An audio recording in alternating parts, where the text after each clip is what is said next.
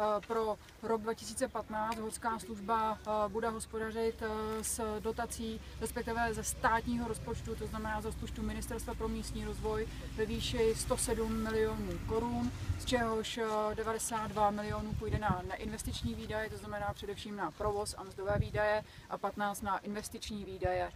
Chtěla bych také zmínit, že horská služba